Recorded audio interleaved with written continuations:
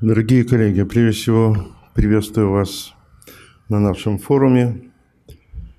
Теперь это ежегодное мероприятие, поэтому я надеюсь, что встречаться мы будем чаще, обмениваться информацией нужно таким образом, чтобы мы понимали, с чем мы имеем дело. Ну, первый доклад должен был быть э, московский, э, должна была Петрова выступить, но, к сожалению, э, директор института Герцена не посчитал возможным э, выпустить своих коллег на наше заседание, ну, по разным причинам, не будем говорить о причинах. Вот. Но дело в том, что, я думаю, нет особой проблемы в том, чтобы ознакомиться с теми материалами э, онкологической ситуации по России и по разным регионам, потому что э, Валерий Леонидович Старинский со своими коллегами, он выпускает ежегодно две книги, и вся информация э, в достаточной мере э, там представлена, и каждый может уже сегодня по 2016 году посмотреть то, что э, раньше называлось 35-й формой, то есть все аналитические показатели, которые включены, они уже представлены в сети. Вот другое дело, качество этих показателей, их оценка, мне хотелось бы, конечно, говорить э, непосредственно нашим коллегам московским, потому что создание э, популяционного ракового регистра России – то, что изначально 420 приказ предусматривал, он до сих пор, во-первых, не создан. Я думаю, что он никогда не может быть создан по разным причинам. Во-первых, не все территории в состоянии а, адекватно работать, ну и, во-вторых, качество э, информации, которая обобщается, она э, очень отличается по территориям. Кроме, пожалуй, тех территорий, которые мы курируем. Э, я уже говорил о том, что когда мы проводили школу онкологов в 2015 году, э, для того, чтобы присоединиться к МАИРу, э, чтобы в раке на пяти континентах был не только Санкт-Петербург, но и другие территории, мы провели в прошлом году огромную работу, и будет на будущий год, в будущем томе будет представлено уже 8 территорий – ну, я надеюсь, потому что окончательное решение за Маиром, но это все-таки уже будет какая-то раскладка на географической карте, а не просто точка, э, которую иногда э, наши коллеги из Маира э, даже забывают эту точку поставить. Точка есть точка. Вот. Несколько слов хотел бы исторических сказать, учитывая, что у нас сегодня из-за отсутствия ряда докладов появилась э, возможность э, коллегам говорить без ограничений по времени. Ну, условно без ограничений, конечно, несколько минут можно добавить докладов. Я хотел бы сказать о том, что когда э, Николай Павлович Напалков вернулся из Женевы, он понял всю значимость той проблемы, которая связана с онкологической статистикой – Э, как информационной базы и пригласил меня э, в 1975 году в институт, мы сразу же попали на коллегию Минздрава, где уже тогда стоял вопрос о создании автоматизированных систем. Мы с этим справились. Мы в середине 80-х годов получили документ о том, что та система, которая была разработана у нас в институте, она Э, так сказать, соответствует тем стандартам того периода и может быть э, взята для э, использования.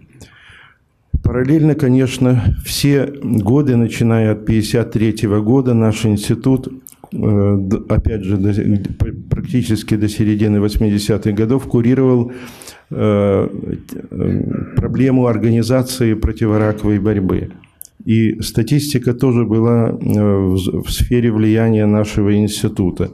И все методические работы, которые, э, все э, теоретические изыскания, все исследования географических элементов, они проводились сотрудниками по инициативе и сотрудниками нашего института. Поэтому не случайно, 90, во-первых, мы уже с 1983 года представлены в раке на пяти континентах, это и была вот одна точка на протяжении 30 лет. Поэтому я надеюсь, что действительно в следующий раз это уже будет более-менее нормально представленная географическая карта.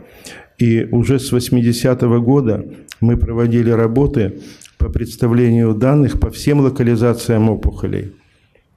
И целая серия книг, которые мы делали, в том числе и 48-й том приложения к третьему тому МАИР, злокачественного образования э, в СССР и союзных республиках, конечно, они э, представили уже более широкую возможность анализировать, и мы по Петербургу, Ленинграду можем анализировать с 80-го года динамические процессы. Проблема ведения этих данных, она непростая. Поэтому, когда мы в, 83, э, в 93 году организовали госпитальный, а э, в четвертом, 94-м первый популяционный раковый регистр в России, э, уже на компьютерах, уже к этому времени, так сказать, техника совершенно изменила свой характер, и можно было все наши наработки перевести уже в режим э, тот, к которому мы сегодня привыкли, он у нас естественно, у каждого на столе компьютер. Вот эти системы мы развивали длительный период. И в тот же период наши коллеги из Института Герцена многократно приезжали к нам, знакомились э, с тем, как создать. Но э, то решение, которое ими было принято совместно, видимо, с Минздравом, все-таки система, созданная у них, она не соответствует международным стандартам. Задача была э, простая – создать систему формирования государственной отчетности. Вот все сложности формирования – это огромная работа. И действительно, это много, э, практически вся страна сейчас покрыта системами раковых регистров. Но работают они как бы в полсилы. Это только представление государственной отчетности. Каждый может у себя, безусловно, более углубленно все это разрабатывать. Э, за рубежом принято, что каждый популяционный раковый регистр раз в год или в два года э, формирует какие-то э, издательские документы о своей деятельности, и можно сравнивать у нас этого, к сожалению, кроме того, что делал э, регистр Санкт-Петербурга, э, я не видел. Есть обобщение данных. И обобщение данных по отчету, и формирование данных по базе данных, это все-таки э, разницы достаточно большие. Вот. То, о чем я буду сейчас говорить, это итоги работы Северо-Западного э, федерального округа, наших 10 э, административных территорий, э, они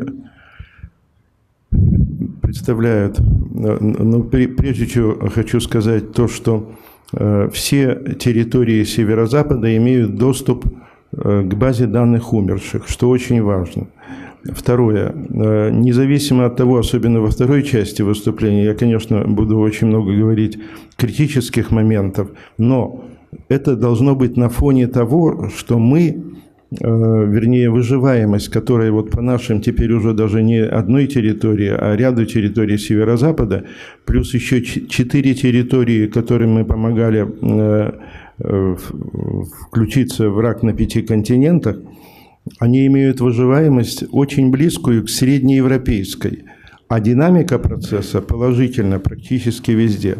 Поэтому те замечания, о которых я буду говорить и о которых каждый знает у себя, они должны просто э, быть планом к улучшению ситуации. Э, это не обличение, что вот это плохо и прочее, но есть такие вещи, Э, которые уже дальше замалчивать сложно, потому что все-таки в стране остаются еще 20 территорий, которые не имеют доступа к базе данных умерших. Вы понимаете, накопление контингента, накопление мыльного пузыря. И э, мы, э, я думаю, что я даже сделаю статью с реальными данными, как оно на самом деле, потому что очень сложно слушать Э, Э, так сказать, вещи, не соответствующие действительности. Хотя в целом, я еще раз повторяю, развитие системы вполне достойное. Так. Видимо, вот так.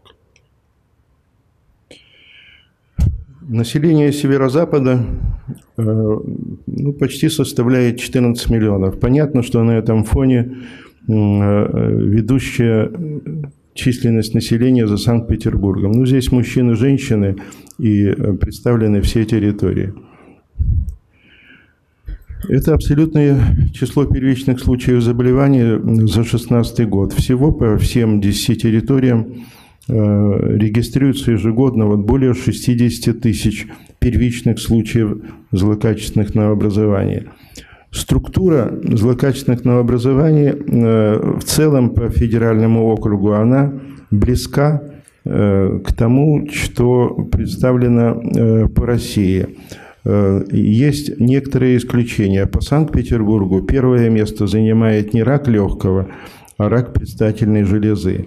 Э, динамика этого процесса на протяжении там, последних 30 лет очень существенная, и это в наших публикациях можно детально рассмотреть с процентами и э, с картинками разными.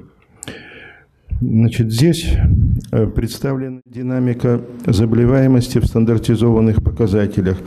Первые линии, конечно, это рак э, легкого, идет динамика вверх, и рак предстательной железы у женщин идет нарастание рака молочной железы, так как, в общем-то, по всем периодам, даже в стандартизованных показателях. Остальные локализации э, имеют э, значительно меньший удельный вес, и их характеристика здесь представлена отдельно. Э, здесь показаны уровни заболеваемости по различным административным территориям э, северо-запада.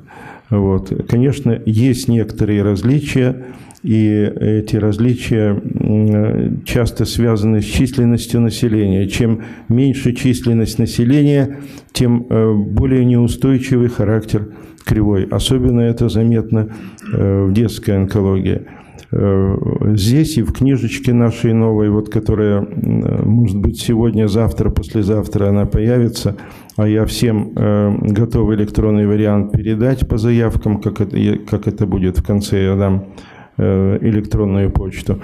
Вот такая серия географических карт по, в целом по всем территориям. И теперь динамика заболеваемости – в целом по северо-западу мы видим, что э, рост грубых показателей верхней ряда – это мужчины и женщины, внизу стандартизованные, что ре, имеется резкое отличие, безусловно, так как у вас, и вы все это прекрасно знаете, грубых и стандартизованных показателей. Ну, это по ряду локализации географические карты, которые, конечно, мы не можем детально разбирать сейчас, но они существуют, нужно посмотреть. То, что касается смертности, то динамика смертности на протяжении последних 30 лет по стране уменьшается, как среди мужчин, так и среди женщин. Поэтому здесь возникает вопрос индикаторов, которые выставляет Минздрав для территории в грубых показателях, что недопустимо, потому что в грубых показателях, учитывая разную численность лиц пожилых возрастов на разных территориях, невозможно все это привести в единообразие. А так по всем территориям у нас идет положительная динамика в стандартизованных показателях. И на последнем заседании Ассоциации онкологов Северо-Запада мы как раз предложили, что среди главных критериев, по которым должны оцениваться – Э, оцениваться должна работа территории, это обязательно только стандартизованные показатели заболеваемости, это индекс э, достоверности учета, то есть отношение умерших, заболевших. Умерших не должно быть больше, чем заболевших. Вы это увидите в дальнейшем что целый ряд территорий имеют по разным локализациям, не только локализациям с высокой летальностью, больше умерших, чем и этим, этим определяется приличный недоучет первичных случаев э, рака. И третье, конечно, всем надо выходить уже на расчет стандартизованных показателей, на, на, на расчет показателей выживаемости, наблюдаемой и, самое главное, относительной. То, что касается уровня морфологической верификации, хотелось бы заметить, что уровень достаточно высок. И э, даже в тех случаях, когда мы имеем показатель ниже 90%, на самом деле он выше, потому что существует сложность э, своевременного получения раковыми регистрами э, э, выписок из стационаров с указанием морфологии. А уж то, что касается государственной отчетности, там требуется немедленно, немедленно подать 31 числа за год, независимо от того, поступили все документы или не поступили. Этим отличается мировая система сбора информации от нашей.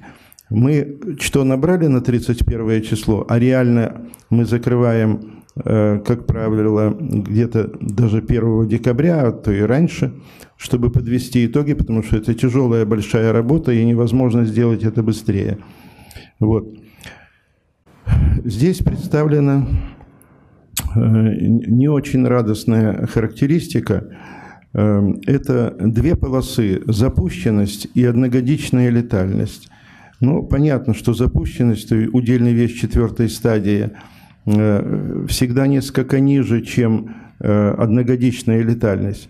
Но те, кто э, рассчитывает выживаемость онкологических больных, они имеют ту ситуацию, которая здесь изображена на трех столбиках. У мужчин фактически мужчин умирает в два раза больше на первом году, чем по данным одногодичной летальности. У женщин немножко меньше. Вот. Но об этом разговор будет в следующей секции. Чтобы не говорили, что это только по Петербургу, мы сделали по ряду территорий, у нас таких сейчас 8 территорий с первичными базами, которыми мы располагаем.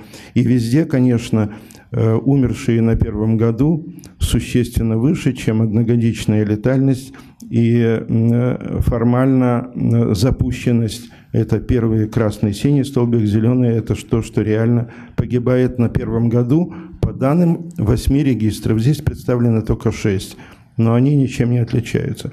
В северо-западном регионе в общей сложности насчитывается более пяти тысяч коек, на которых осуществляется лечение больных. Должен сказать вам, что, конечно, и вам это хорошо известно, что сегодня онкологические диспансеры территориальные – Э, они превратились из маленьких э, амбулаторных учреждений, как это было в начале формирования системы онкологической помощи, в мощнейшие центры с полным комплексом всего того, что положено нашим онкологическим больным, от диагностики до лечения и реабилитации.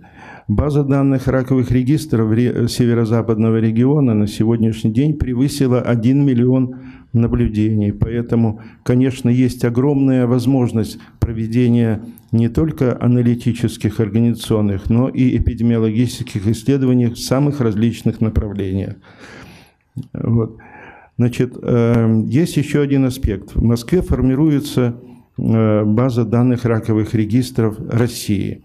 Вот э, красные – это территории, которые представили в 2016 году в Москву данные. А по северо-западному региону три территории – Ленинградская, Новгородская и Коми э, – хоть и располагают данными, но она не соответствует по их собственному э, представлению тому уровню, чтобы передавать их в единую базу. А это перечень Э, территорий, которые мы помогли, так сказать, представить себя в 11 томе «Рака на пяти континентов». Это территории северо-запада и четыре территории здесь других административных территорий, которые работают по нашим программам, по программам, разработанным лабораторией онкологической статистики и ООО «Модуль». Новел, ООО «Новел». Хотя она «Модуль» раньше называлась, мы начинали с этого, поэтому не случайно я оговорился. Расчет выживаемости осуществляется вот на этих территориях, и на наших, и на тех территориях, которые работают по нашим программам. Не буду э, задерживаться. Теперь вот самый главный момент для всех – Значит, так как все формируют базы, и если вы базу формируете, она э, достойна по вашему собственному представлению для разработки показателей выживаемости, а это очень просто сделать, сравнить выживаемость, наблюдаемую, допустим, по своей территории со, со среднеевропейскими данными или по Петербургу, которые близки к этому. Вот, мы публиковали достаточно широко, поэтому эти данные есть э, везде. Вот мы сейчас разработали для э, территории э, сложность, ведь, ведь весь мир э, э оценивает э, выживаемость не по наблюдаемой, по относительной, э, по относительной выживаемости с учетом э, смертности от всех по возрастных показателей смертности всех причин смертности на данной территории.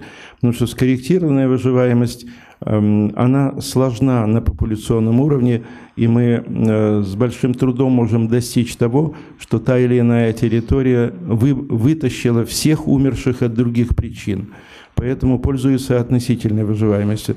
Так вот, мы разработали переводные коэффициенты, и они опубликованы вот в том издании, которое вот-вот сейчас выйдет у нас.